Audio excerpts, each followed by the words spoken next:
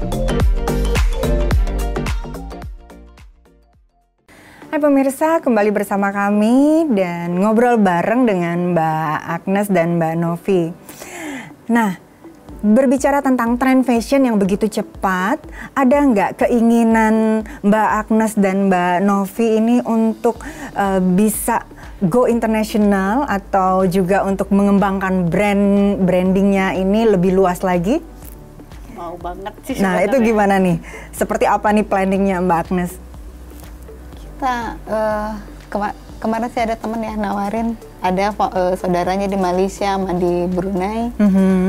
uh, kadang suka ada bazar di sana kita rencana mau ke sana cuman karena kan terkait ada virus ini jadi ke pending semua Oh, semua hmm, Kita rencana mau ke Malaysia dulu gitu. Mm -hmm. Tapi sebelumnya kan kita lihat dulu di Malaysia situasinya kayak gimana, uh, selera pasarnya kayak gimana. Mm. Udah udah planning sih rencananya bulan-bulan April. Maret April tapi kondisi ini ya kita pending mudah-mudahan sih habis lebaran kita bisa. Baik Mbak Agnes, Mbak Novi. Nah, saat ini kita ada beberapa listing pertanyaan dari sosial media. Jadi uh, saya akan bacakan dari pemirsa di rumah tentunya ini. Nah, nanti mungkin dipersilakan Mbak Agnes dan Mbak Novi untuk jawab ya. Baik, saya bacakan nih Mbak Agnes, Mbak Novi dari Aisyah Kurniawan 73 saat menghadapi kendala dalam berbisnis, pernah nggak mendapat inspirasi menjalankan bisnis lain? Nah, apakah tetap bertahan atau mencoba memperbaiki? Uh, kita pernah nyoba juga ke bidang kuliner. Ya, ternyata memang susah juga ya untuk memulai. Passionnya ya. sulit. Uh, uh, jadi akhirnya uh, kita balik lagi lah fashion. Kita uh. balik lagi fashion, kita perbaiki yang ada, kita mulai ya ibaratnya membuka jendela kita lihat-lihat lagi apa kekurangannya kita kita evaluasi diri itu aja sih. Karena explore lagi begitu karena ya. kalau kita pindah itu juga kan kita harus merintis lagi dari nol. Oke okay, baik. kita uh, perbaiki yang ini daripada kita harus turun dulu gitu. Oke okay, baik. Mbak Aisyah mungkin uh, semoga terpuaskan gitu ya. Oke okay, saya masuk ke pertanyaan kedua dari Mbak Dina Ralin. Nah Pertanyaannya adalah gimana membiasakan diri membagi waktu antara mengurus anak dan mengurus bisnis. Saya kok tetap menerima komplain ya dari suami dan anak. Kalau uh, kita anak-anak kan uh, semuanya sekolah. Uh. -huh. Jadi kita uh, mengurus rumah, masak, ngurusin anak sampai sekolah sampai jam 9, jam 10 sampai jam 4 kita kerja. Oke. Okay. Setelah itu jadi uh kayak kita kan online. Eh, pagi-pagi uh, kita yang penting anak-anak sama ini udah beres beres dulu, dulu ya, gitu ya. kita urusin urusan kita.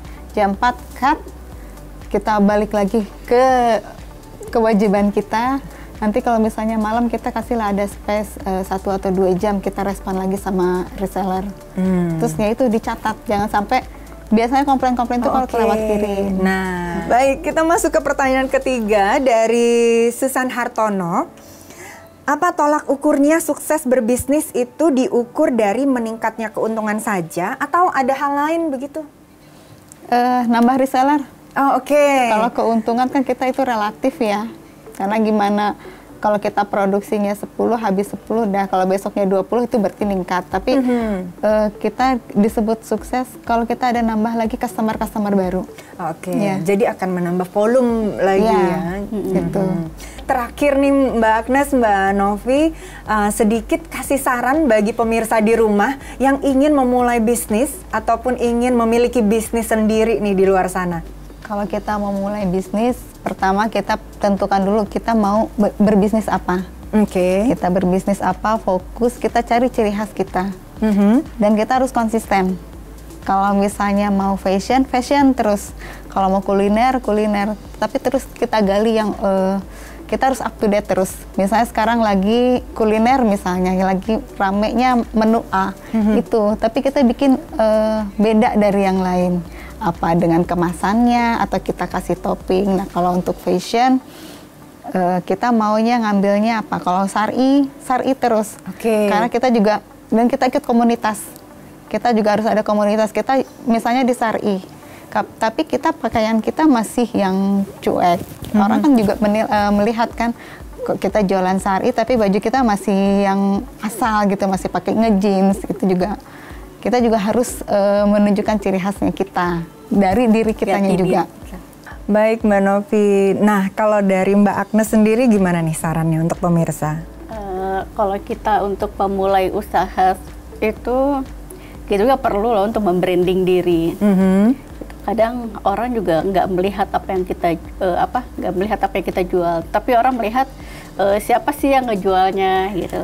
Jadi kita juga harus selalu menunjukkan sisi positif kita dan wajibnya untuk membranding diri ya. Kekuatan personal branding itu penting untuk uh, pebisnis, apalagi pemula. Begitu Mbak Agnes. Yeah. Baik, luar biasa sekali kebersamaan kita hari ini Mbak Agnes, Mbak Novi. Terima kasih sudah hadir di sini dan berbagi ceritanya.